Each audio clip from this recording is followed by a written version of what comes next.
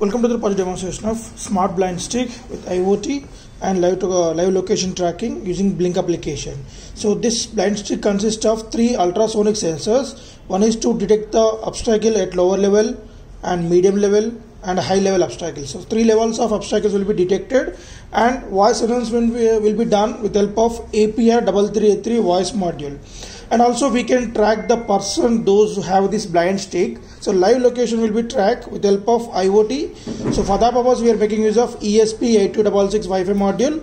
And the live tracking will be done on this Blynk application. So the location of the person can be accessed from anywhere in the world. We are using the Blynk application.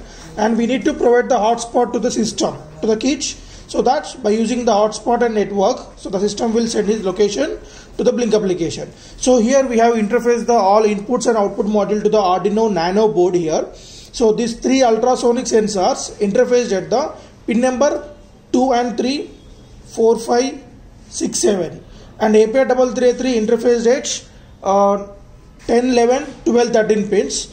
And this uh, Wi-Fi module interface at the pin number 8 and 9 GPS interface at the directly first pin of our zero pin of our nano board. So the whole system getting power supply from the 3.7 volts. So this is a battery we are going to use and which is of rechargeable battery. So for that we need to connect a b type charger to the system. So while connecting the charging cable uh, press it gently otherwise it may damage. Right. Now when it is showing the red led the battery is charging. So when it's turned to the yellow light or green blue light then it's the battery is fully charged. So till that time you can keep the battery charging. Once fully charged you can disconnect that. This is the main on off switch for the whole circuit. So this is the on off switch. Okay? So now before on the kit as we discussed we need to provide the data uh, means uh, hotspot settings for the system to get the live location. So for that purpose go to hotspot settings of your phone change the hotspot name to project 5501 without any space without any capital letter and password should be 123456789 enable the hotspot and enable, the data. Now so you can log into the Blynk application from the given credentials. So there we can see red icon over here. So it shows the status of the device is offline. Means there is no data or there is no power supply to the device. So now i'm just switching on that.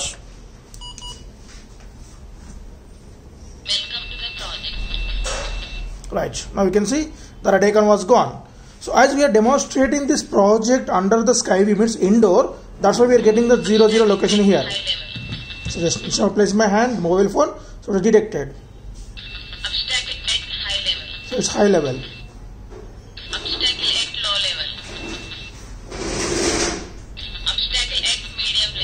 right. So for that purpose we interface the sensors to the nano board and this APR33A3 nothing but audio playback recorder. Means it will announce the predefinedly recorded voice from the speaker. So let us see the demonstration under the sky view to get the live location. So, so when we demonstrate the sky under the sky view there is a LED indication on the GPS so we will get the live location. So this green LED is a location of our phone and this black dot is a live location of the person. Right. So it's continuously streaming the live location of the person so that whenever you want to see the person's location just we can open the app and we can see the live location of the person